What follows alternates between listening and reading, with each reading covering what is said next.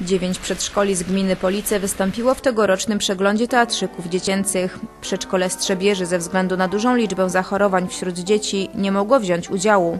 Impreza trwała trzy dni. Organizatorem międzyprzedszkolnych zmagań od 1997 roku jest Polickie Przedszkole nr 8. Pomysłodawcą nauczycielka Jolanta Siedlecka.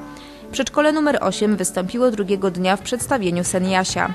To sztuka, której autorkami były nauczycielki z przedszkola.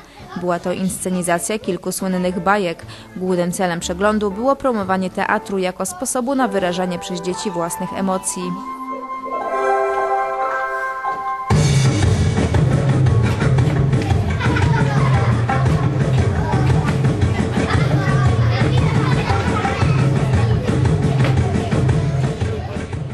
Przedszkole publiczne numer 1 z siedzibą w Starych Policach zaprezentowało Brzydkie Kaczątko.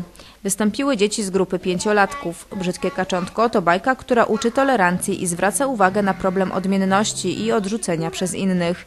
Tytułowe kaczątko, nieakceptowane przez całą społeczność zwierząt ze względu na odmienny wygląd, podąża przez świat w poszukiwaniu swojego miejsca. Wędrówka ta okazuje się jednak drogą pełną cierpienia, bólu i zagubienia. Na szczęście wszystko kończy się dobrze. Dzieci dowiadują się, że piękno drzemie w sercu i liczy się tylko to, co w środku.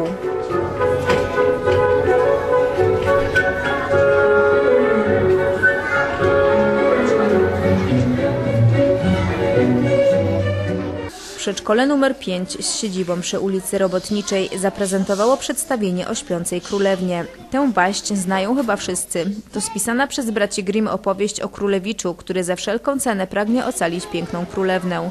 W dniu chrztu na dziewczynę zły czar rzuciła stara wiedźma, przez co młoda królewna w 15 roku życia ma się ukuć wrzecionem i umrzeć. Na szczęście wszystko kończy się dobrze.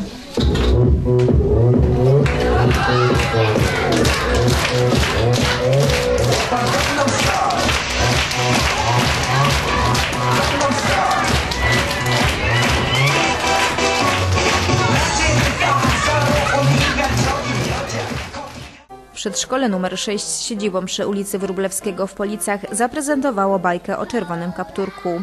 To bajka, która uczy rozwagi i pokazuje, że trzeba być odważnym. Poprzez świat baśni i bajek najmłodsi widzą, że w otaczającej je rzeczywistości istnieje dobro i zło. Uczą się je rozróżniać, przewidywać konsekwencje zdarzeń.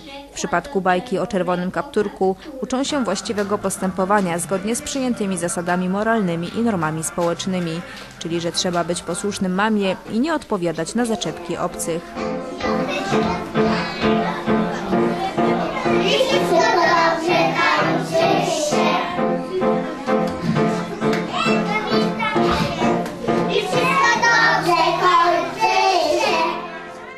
Teatr dziecięcy pozytywnie wpływa na rozwój wyobraźni najmłodszych. Wyzwala w dziecku poczucie przynależności do grupy, w ten sposób wzbogacając jego osobowość.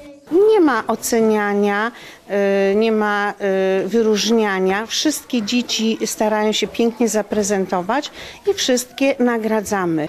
Wszystkie przedszkola biorące udział w przeglądzie teatralnym otrzymały nagrody ufundowane przez Szczecińskie Kuratorium Oświaty.